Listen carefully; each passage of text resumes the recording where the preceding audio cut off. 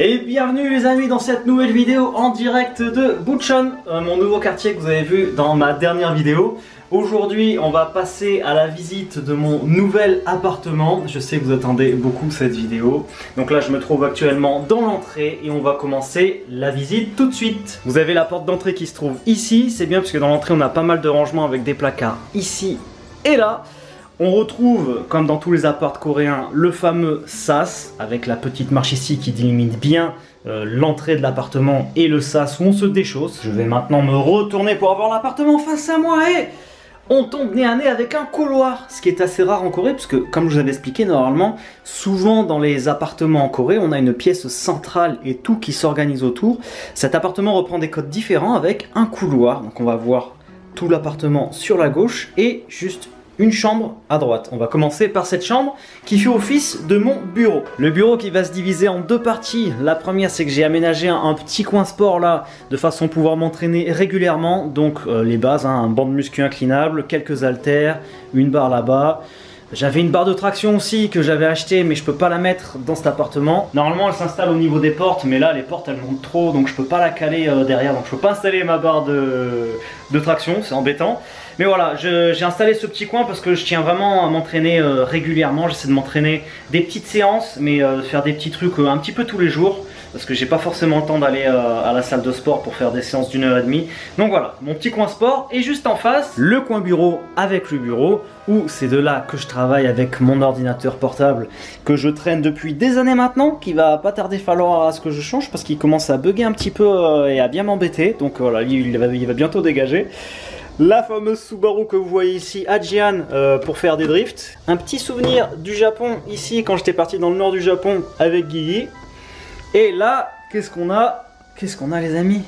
Qu'est-ce qu'on a? Ça serait pas... NordVPN. Votre ordinateur, c'est un peu comme votre maison. Votre maison, vous la protégez. Des serrures aux portes, des alarmes pour certains. Votre ordinateur, c'est pareil. Si vous ne le protégez pas, n'importe qui peut rentrer à l'intérieur. Heureusement, grâce à NordVPN, votre ordinateur est à l'abri des dangers. L'adresse virtuelle de votre ordinateur est masquée. Impossible de savoir où il se trouve et qui il est.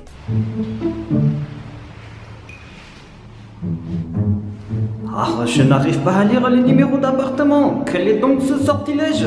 En un simple clic, vous pouvez modifier la localisation virtuelle de votre ordinateur. Restez virtuellement chez vous, même lorsque vous voyagez, ou alors de chez vous, accéder à du contenu qui n'est pas disponible dans votre pays. NordVPN inclut une protection anti-menace qui vous protège des logiciels malveillants, des trackers et des publicités. Naviguez sur internet en toute sérénité. Et avec le combo NordPass, protégez tous vos mots de passe. Utilisez des mots de passe différents pour chacun de vos comptes et laissez à NordPass le soin de les protéger plutôt que de les noter sur un bout de papier. L'ordinateur de Laurent Ah où est le mot de passe? Ah, le voilà et attention, à l'occasion de la rentrée scolaire, bénéficiez de l'offre Back to School NordVPN plus NordPass avec 4 mois gratuits pour l'abonnement de 2 ans. Cliquez sur le lien dans la description pour en savoir plus et n'hésitez plus parce que NordVPN est satisfait ou remboursé les 30 premiers jours. On continue la visite avec le magnifique Hercule, toujours là pour donner de la force et il a deux talismans là que j'ai ramené de voyage. Ensuite ici on a un objet coréen que vous retrouverez un peu de partout. C'est deux canards qui représentent en fait le couple, qui représentent l'homme et la femme dans le couple. Et pour la petite anecdote, tu vois, quand tu te disputes avec ta femme, tu, mets le canard comme ça, ah, tu boudes. non, c'est vrai en plus. Ensuite là j'ai un petit souvenir un petit souvenir de Gian de quand il était bébé. Ça c'est mon micro pour avoir un bon son quand je fais mes podcasts, meilleur que, que actuellement. Ça, c'est un souvenir que m'ont fait le dernier groupe que j'ai eu en voyage abonné. On a passé deux semaines excellentes ensemble. Et euh, du coup, voilà, ils m'ont fait euh, une photo de nous dans un petit cadre. C'est un truc qui s'éclaire quand on le branche. Voilà, c'est super. Je suis très content. Ensuite, là, à l'entrée de la chambre, on a un tableau, très important d'avoir un tableau euh, pour noter tout ce qu'on a à faire. Voilà, j'ai des petits trucs de noter, mais le plus important, c'est les choses que je dois pas oublier. Je me suis fixé des goals, des buts à respecter le plus possible c'est faire 10 000 pas par jour, essayer de faire 30 minutes de muscu par jour, me coucher à 23 heures maximum, téléphone 2 heures maximum par jour. J'ai eu du mal au début, mais là j'y suis, je pense que j'y suis là.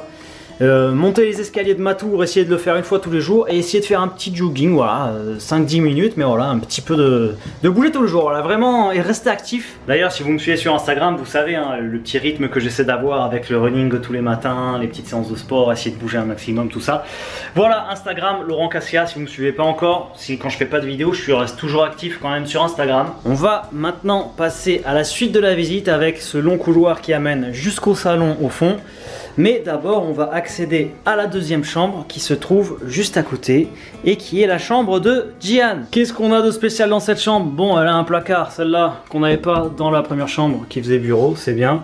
Et on a, on retrouve le fameux tapis que je vous disais, le tapis absorbant. Je vous avais mis ça dans un Reels.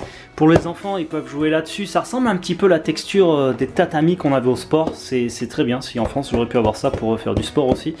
Voilà, des trucs absorbants, donc c'est chouette. Le lit, c'est un lit à la coréenne, euh, un, lit au, sol. Avec euh, pareil, il est sur. Euh, il a ça qui s'ouvre. Hein. C'est à ça qui s'ouvre sur le côté, qui se met à plat des deux côtés pour faire grande zone de, de, tatami pour jouer. On ressort de la chambre et juste en face de la chambre, on va tomber sur la salle de bain principale. C'est bien puisque cette fois-ci, on a une baignoire. Voilà, elle est plutôt, elle est plutôt propre la salle de bain, elle est bien.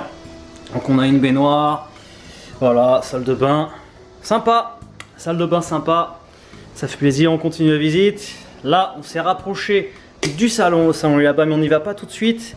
On va partir sur la cuisine. La cuisine qui est là, qui va être ouverte sur le salon là-bas. Bon, cuisine normale. Enfin, je, je sais pas trop quoi dire sur la cuisine.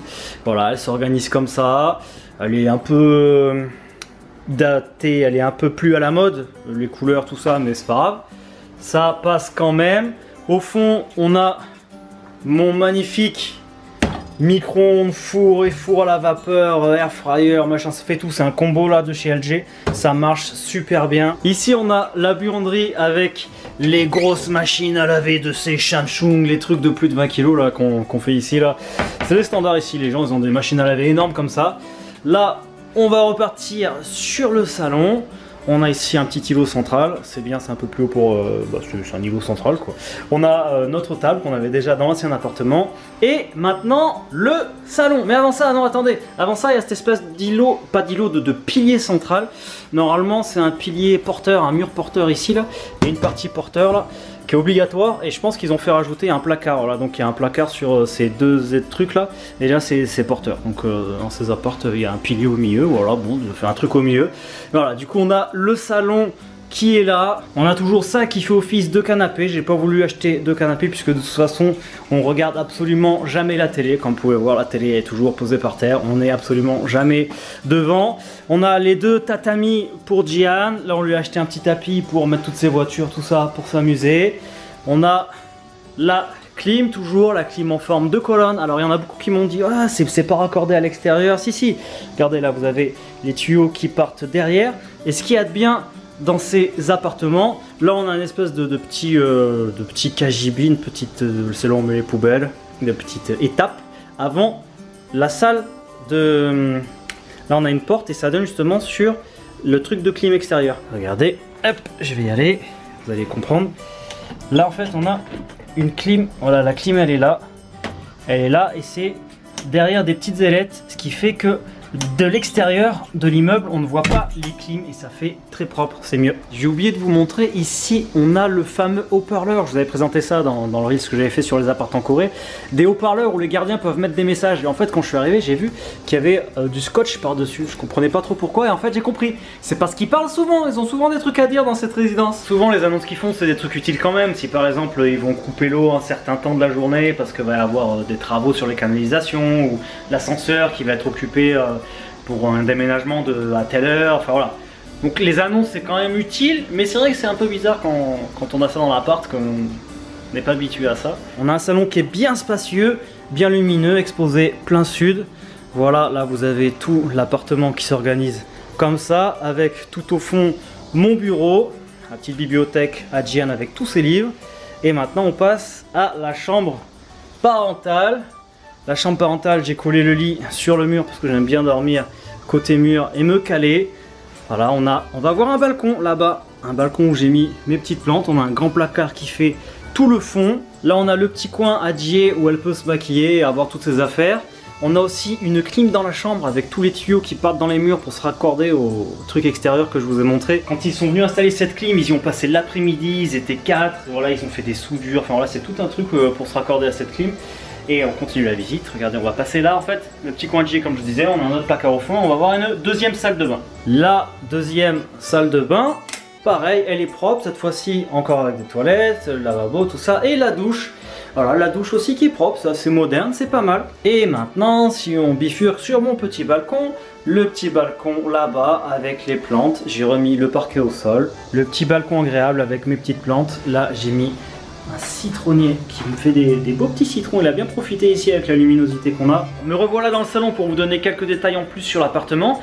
Un appartement comme celui-ci à l'achat, ça coûte 500 000 euros. Et en loyer mensuel, c'est à peu près 1200 euros par mois. Donc vous voyez, même si on n'est pas à Séoul, c'est un peu moins cher que Séoul, mais ça reste quand même euh, des, loyers, des prix d'achat assez conséquents. Euh, sinon, pour la petite anecdote, je suis dans cet appartement, vous m'avez vu déjà beaucoup déménager euh, à Séoul, j'en suis à mon quatrième appartement. Et pour la petite anecdote, euh, dans deux ans, à la fin du bail de celui-là, je devrais euh, encore changer d'appartement, puisqu'en fait, la, femme qui a cet appartement, enfin le couple qui a cet appartement, ils sont partis à l'étranger pour deux ans et ils reviennent dans deux ans. Donc euh, voilà, je devrais encore déménager dans deux ans. On repartira pour des aventures déménagesques dans deux ans. Donc le truc d'embêtant, c'est que je peux faire du coup aucune modification dans l'appartement. Genre la peinture verte, les tapisseries vertes du bureau abominable, je peux pas les changer. Sinon, bah, comme si je restais plus longtemps, j'aurais fait en sorte de pouvoir les changer. Voilà, donc là, je peux vraiment toucher à rien, ce qui est assez dommage. Et euh, puis voilà, l'appartement était plutôt sympa, il est bien disposé. Je vous montrerai euh, les, euh, les, les autours et la résidence dans une autre vidéo. J'espère que ce room tour vous aura plu. N'oubliez pas de vous abonner si vous n'êtes pas encore abonné pour la suite des vidéos. Instagram si vous voulez en voir plus de ce que je fais tous les jours un petit peu. Voilà, tous les jours un petit peu sur Instagram. Merci d'avoir suivi cette vidéo et hasta la vista